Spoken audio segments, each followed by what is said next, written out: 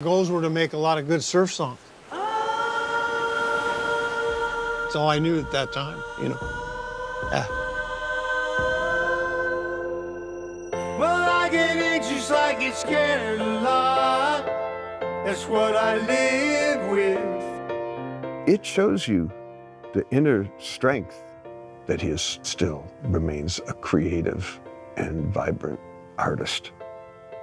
And it also speaks volumes about the enduring uh, depth of his music, that it still means something to people after all this time.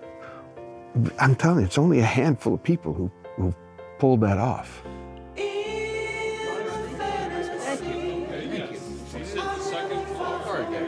Hey, nice shirt. Hey, Brian. How you doing? You little sweetheart. Hi. you are. We're gonna play a good show, man. Yeah, man. Cool beans. Hi, Elizabeth. I'm gonna give you one of these hugs. All right. All right, Hey, buddy. hey, hey, give me a handshake. Yeah. Yeah. Real guy. All right. Good enough. I'll give you a best shake. Hey, Blondie, guess what I listened to last night? What's that? You're never gonna Randy Newman's album "Sail Away." That's great. Oh, what an album! man. That's a great album, That is a good album. Oh man, Ri- Ricky Fataar I used to listen to that a lot. You know what t- what year that came out? 1972. 72. Same as when we were in Holland. It's just that's the time. Right, and I, I played uh, "Sail Away" with Randy Newman a bunch of times in Holland. Yeah. Yeah, It's a beautiful album, man. yeah, it is. Great album, Brian. Surprise! Hey, That's right, my man. yes, yes. Oh, All right. Debbie with you? yeah. She's upstairs. Good. Just going over stuff. I'll see you at soundcheck. Yes. there's certainly a, a connection. He's tapped into something that connects all the great songwriters, you know, to, to Gershwin and then Debussy and then Mozart and Bach. And there's something that he does that's tapped into that.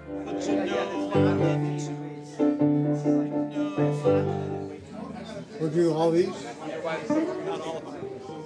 We'll do it again. Sorry. Is this the uh, the, the uh, farm, uh, surf medley? Or? Yeah, we're gonna re- we're gonna rework it though. but then it's filtered through his own inventiveness in his own sort of quirky way that has its own character, its own personality.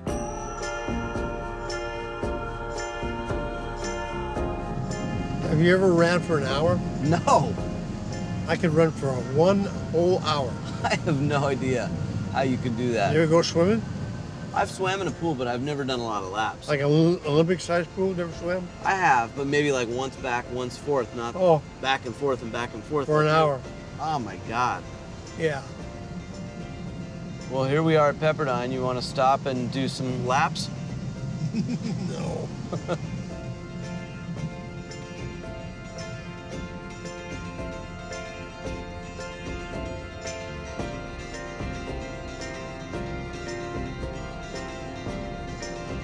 Wow, here we are. God, nothing. Doesn't look the same at all. No? Is it bigger now? Yeah. Okay, I see her over here.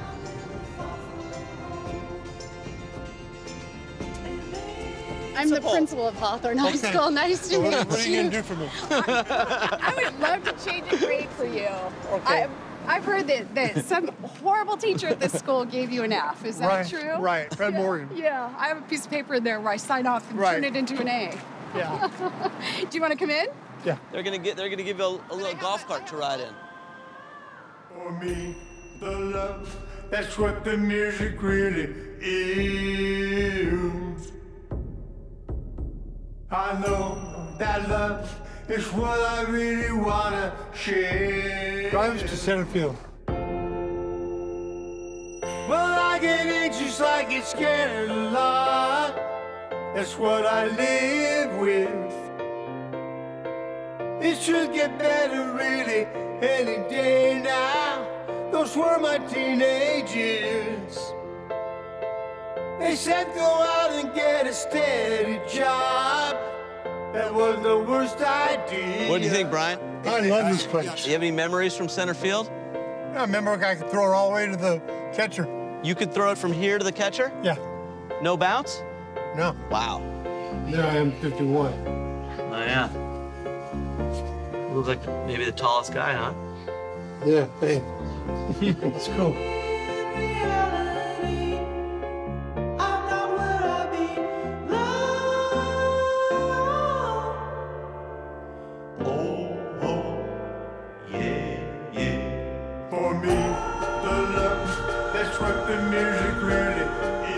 split after this.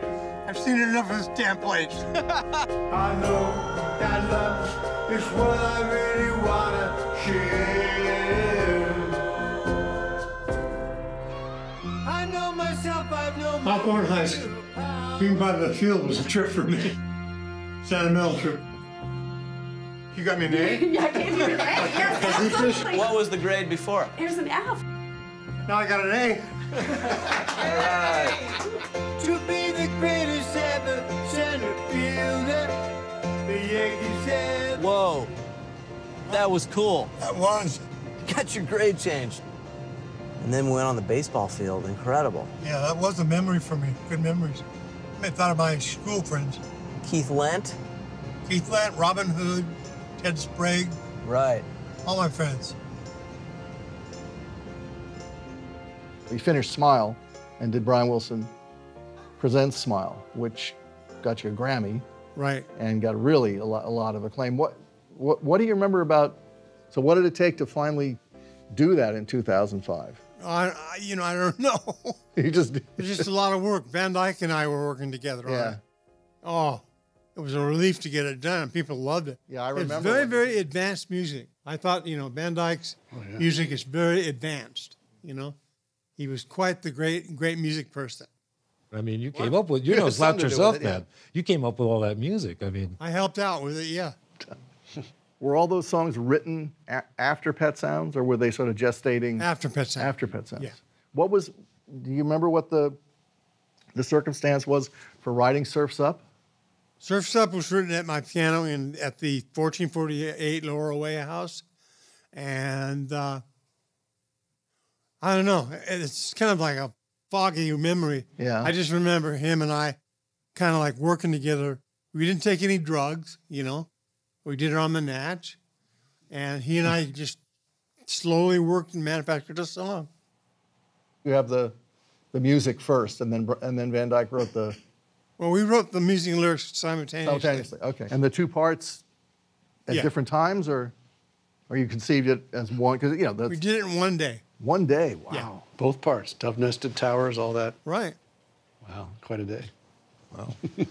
yeah, I'd say that was a pretty good day. Yeah. Mm. Yeah.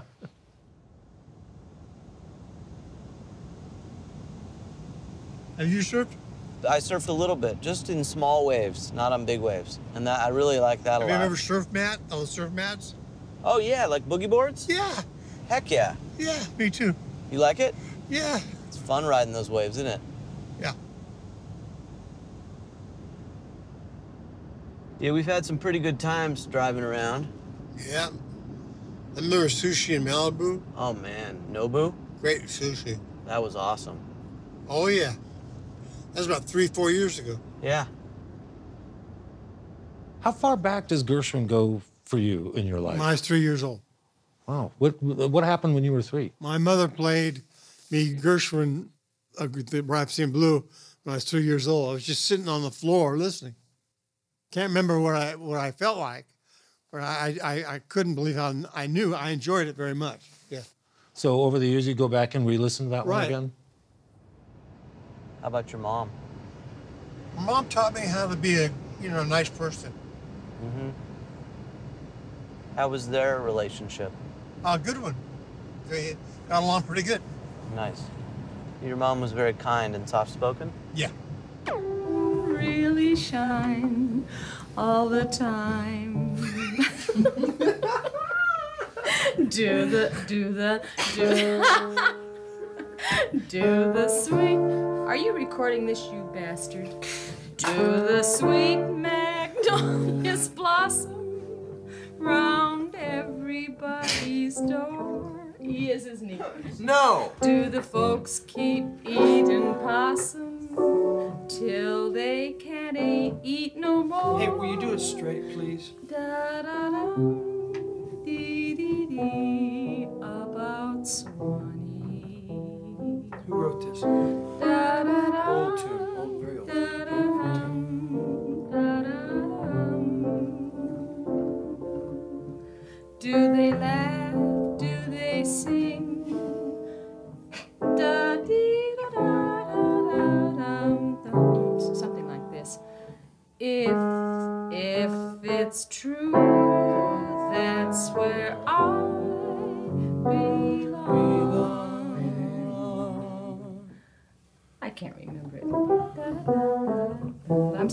called you a bastard. I didn't mean that.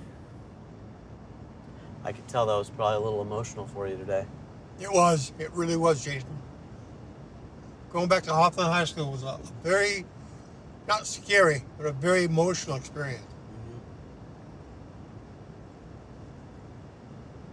I remember the handball courts and the, the, the uh, baseball field and the train tracks. I've been there since 1960. Somebody suggested, Brian, that, that, that Rhapsody in Blue had some influence on you when you were writing Good Vibrations. Is that, is No, that true? that's not No? true. Okay. Not true. Nice try. Somebody said it.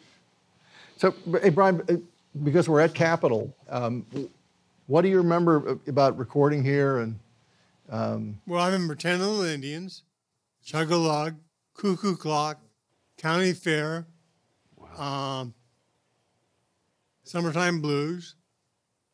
Yeah, it was just our, our first really good album. Our first yeah, your first album, you cut, you cut, a, yeah, a lot of it here. Yeah. It's such a big room compared to where you got to working at Western. Was it at all intimidating working in, in such a big space with, you know? It was, yeah. I remember being a little scared, you know. But uh, Mike kind of kept kept us cool, you know. But after that, I noticed you you didn't. After that first album, you almost never came back to Capitol. Right, right. We went over to Western. What what was it you preferred about Western? I like their bass sound and their high sound, the high frequency, Okay. and it was a little more clear. This this it's, it's, it was better than Capitol. Right.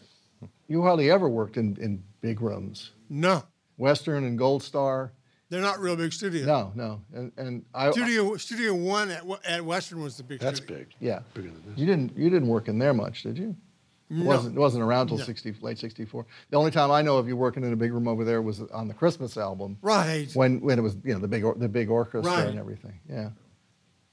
Do you have a favorite or any favorites from your, from your solo career as opposed to the Beach Boy stuff? My solo career. Your, so, your solo albums, do you have any? I'm mostly proud of Gershwin and Disney.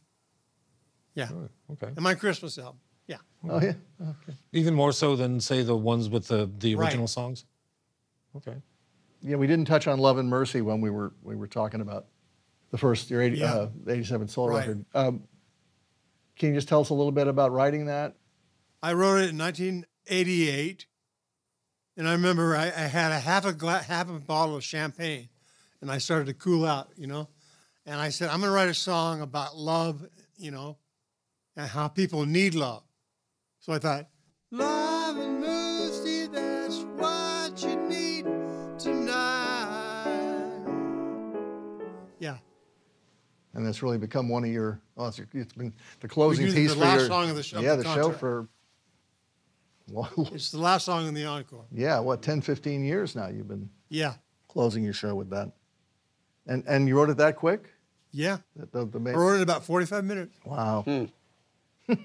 Quick, quick, Really quick. Yeah, yeah. Well, you, you, is it autobiographical or you, you just thought it was something, a sentiment you thought people needed to hear? Yeah, I thought people would need to hear those Yeah, lyrics. and it doesn't, doesn't seem to be getting any, any less so as time goes by, that's for sure. Well, in 1964, I worked real quick. I was real energetic and I worked real fast. Now, for the last 10 years, I've been working very much slower, using Pro Tools and computers. I'm, I'm working a lot slower now. Do you ever miss the the kind of old old paradigm where because you didn't have all these tracks, you had to make your mind up fast. It sort of like kind of forced you into making decisions that now you can put off. Right. What do you prefer? I don't. You don't have a preference one way or the other? No.